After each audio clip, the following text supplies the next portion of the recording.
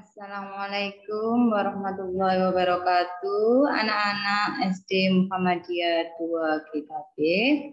Gimana kabarnya? Sehat ya? Alhamdulillah. Pada hari ini Ustazah Nur akan menjelaskan tentang bentuk iklan dan penggolongan unsur senyawa yaitu ada pada tema 9, subtema 3 dan PP1 di kelas 5.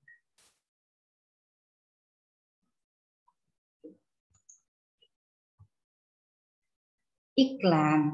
Iklan adalah sebuah informasi yang bertujuan untuk mendorong, membujuk, atau memberikan pengaruh pada halayak ramai atau banyak orang agar tertarik pada barang atau jasa yang kita tawarkan. Ini adalah salah satu contoh iklan.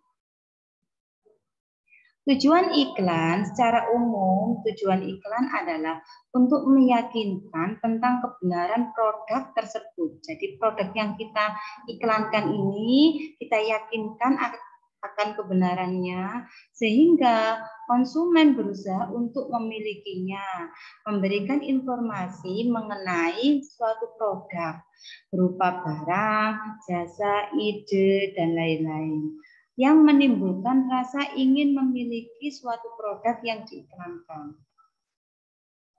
Nah, ini adalah tujuan iklan secara rinci. Yang pertama, memberikan kepada halayak ramai tentang suatu produk jasa. Kemudian yang kedua, mempengaruhi halayak ramai tentang suatu produk jasa. Yang ketiga, menyarankan seseorang untuk membeli dan menggunakan suatu produk jasa yang diiklankan. Yang keempat, memberi informasi tentang produk jasa. Yang kelima, menarik halayak lain. Jadi, intinya iklan itu dibuat adalah untuk menarik halayak ramai agar membeli produk yang kita iklankan ya. Dengan cara apa? Dengan cara meyakinkan, merayu seperti itu ya. Nah, sekarang ciri-ciri iklan yang baik dan benar. Iklan yang baik akan mewujudkan tujuan dari iklan tersebut. Iklan yang baik di antaranya memiliki ciri-ciri sebagai berikut. Informatif, jadi memberikan informasi secara benar. Jadi kami menginformasikan secara benar. Komunikatif. Bahasanya singkat dan padat, menarik. Ini adalah ciri iklan yang baik dan benar. Iklan di mana? Ini adalah baik iklan media cetak maupun media elektronik. Ya. Kemudian yang ketiga atau C, Jenis-jenis iklan berdasarkan ruang iklan. Yang pertama ada iklan baris.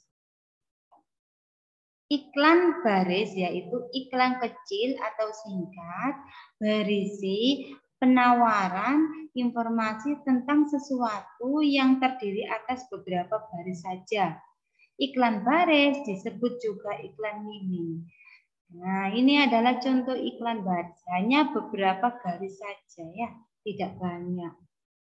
Iklan baris biasanya dimuat di media cetak khususnya surat kabar. Ini hampir tiap hari ada, cuma sering adanya di surat kabar itu pada hari Sabtu atau Minggu. Iklan ini cenderung lebih murah dari iklan-iklan yang lainnya karena hanya berupa baris dan kolom yang sangat terbatas. Penempatannya pun berada di lembah khusus dan dikelompokkan berdasarkan jenis barang atau jasa yang ditawarkan. Jadi hanya satu, hanya kecil.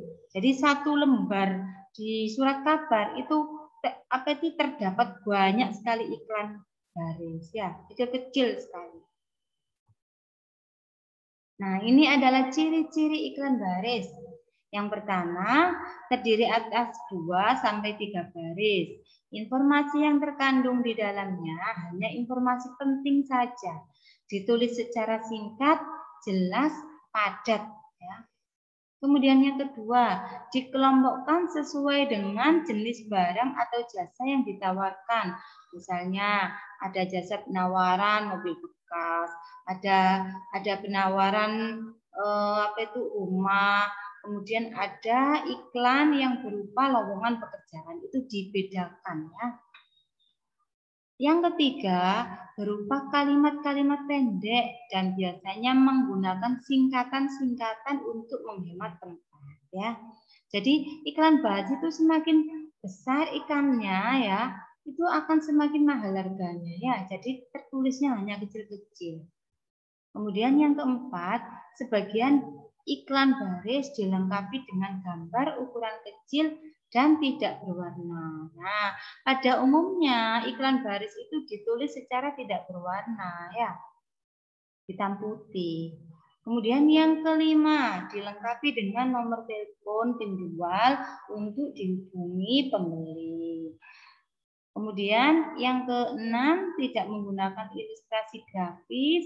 Dan yang terakhir, biaya pemasangan tergolong murah karena tidak membutuhkan tempat yang lebar ya. Kalau iklan itu semakin besar di surat kabar, maka harganya juga semakin mahal. Yang kedua adalah iklan kolom. Iklan kolom adalah iklan yang pemuatannya memanfaatkan beberapa bagian kolom dari halaman surat kabar. Kalau iklan kol, iklan kolom seperti ini itu tidak dikhususkan dalam satu lembar kayak yang iklan baris. Tapi terdapat di ini beberapa bagian dari halaman surat kabar ya. Di dalam iklan kolom ada juga iklan pribadi atau keluarga yang berisi informasi atau pemberitahuan kepada umum. Misalnya iklan tentang berita pernikahan, berita duka cita, ucapan terima kasih, dan lain-lainnya. Selain itu, ada juga iklan layanan masyarakat yang disampaikan oleh pemerintah. Misalnya iklan keluarga berencana, kampanye bahaya narkoba, dan sebagainya ya. Jadi iklan kolom itu selain iklan yang bersifat pribadi ya atau keluarga juga ada iklan layanan masyarakat. Ciri-ciri iklan kolom. Yang pertama, terdiri atas ilustrasi, gambar, foto, atau bagan dan kata-kata. Ya, iklannya agak, agak lebih besar daripada iklan baris. Kemudian yang kedua, ukurannya lebih besar. Nah ini tadi ya, daripada iklan baris. Bahkan ada yang penuh satu halaman koran. Ya, itu juga harganya sangat mahal ya. Kemudian yang ketiga, berisi penawaran, ajakan, dan bujukan untuk membeli produk atau barang yang ditawarkan. Bisa juga berupa iklan pribadi atau keluarga yang berisi misalnya berita pernikahan, berita duka cita, atau ucapan terima kasih. Ya. Itu adalah iklan kolom. Nah, setelah kita masuk pada, setelah kita membahas tentang iklan, kita akan membahas tentang penggolongan unsur dan senyawa materi IPA. Udara merupakan benda yang tidak terlihat oleh mata, namun sangat dibutuhkan oleh manusia, bahkan hewan sekalipun. Udara yang bersih dan sehat adalah udara yang kaya akan oksigen. Sedangkan udara yang telah tercampur dengan asap rokok, asap kendaraan bermotor, dan asap-asap pembuangan pabrik merupakan udara yang tidak bersih. Kandungan dalam udara yang tercemar asap-asap tersebut tidak lagi banyak mengandung oksigen ya. Kandungan udaranya sudah tercampur zat-zat lain yang sangat merugikan kesehatan. Udara itu berarti termasuk apa? Udara itu termasuk senyawa. Kenapa? Karena di dalam udara itu tidak hanya mengandung oksigen, bisa nitrogen, bisa CO2 dan lain-lain ya. Apalagi udara yang kotor ini ya. Nah, benda lain yang tidak kalah penting bagi manusia selain udara tadi adalah air. Air tidak hanya digunakan untuk minum. Air juga sangat dibutuhkan untuk kebutuhan sehari-hari seperti mandi, mencuci alat-alat rumah tangga, dan mencuci baju. Air merupakan benda tunggal. Akan tetapi sebenarnya air terbentuk atas hidrogen dan oksigen. Ya, makanya di dalam unsur kimia air itu dilambangkan dengan rumus kimianya adalah H2O yang terdiri dari hanya adalah hidrogen, O-nya adalah oksigen. Oleh karena itu, karena air itu rumus kimianya adalah H2O, maka air itu termasuk senyawa karena terdiri dari dua unsur. Unsur apa? Yaitu unsur hidrogen dan unsur oksigen. Hidrogen dan oksigen dalam air tidak dapat dipisahkan kecuali dengan reaksi kimia tertentu. Berbeda dengan tanah. Dalam tanah dapat kamu jumpai adanya kerikil, batu, pasir yang dapat kamu pisahkan dengan tangan. Ya, kalau tanah itu dapat dipisahkan, kalau air antara hidrogen dan oksigen tidak dapat dipisahkan. Ini adalah unsur, senyawa, dan campuran. Materi. Materi atau zat itu terbagi menjadi dua. Yang pertama adalah zat tunggal, yang kedua adalah campuran. Zat tunggal juga terbagi menjadi dua, yaitu unsur dan senyawa. Sedangkan campuran terbagi juga menjadi dua. Yang pertama adalah campuran homogen dan campuran heterogen. Bil unsur itu adalah zat yang tidak dapat dipisahkan atau terdiri dari satu. Ya, berarti contohnya apa? Yaitu contohnya adalah besi, tembaga itu masuk unsur. Sedangkan senyawa itu adalah terdiri dari dua atau lebih unsur. Contohnya air. Air tadi kan terdiri dari unsur hidrogen dan unsur oksigen. Sedangkan campuran homogen campuran homogen itu adalah campuran yang menyatu menjadi satu, tidak dapat dipisahkan ya antara kedua zat tersebut. Sedangkan heterogen adalah campuran yang dapat dipisahkan. Cirinya campuran heterogen itu terdapat endapan ya. Nah, ini zat tunggal adalah zat yang terdiri dari sejenis materi. Zat tunggal dapat juga disebut zat murni. Salah satu contoh zat tunggal adalah air. Zat tunggal dapat berupa unsur atau juga dapat berupa senyawa. Unsur adalah zat tunggal yang tidak dapat diuraikan menjadi zat lain yang lebih sederhana. Hanya terdiri dari satu Tentunya adalah besi. Besi ini tambang kimianya adalah Fe. Jadi hanya satu. Emas, aluminium, karbon, nitrogen, tembaga, perak, seng, dan oksigen. Kalau oksigen itu masuk unsur. Tapi kalau udara berarti masuk senyawa. Ya. Kemudian senyawa terbentuk oleh perikatan kimia dari dua atau lebih jenis unsur. Sebagai contoh, air.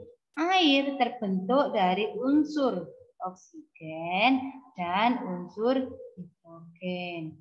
Contoh senyawa yang sering kita temui dalam kehidupan sehari-hari misalnya adalah garam dapur, gula pasir, asam cuka, soda kue, dan vitamin C.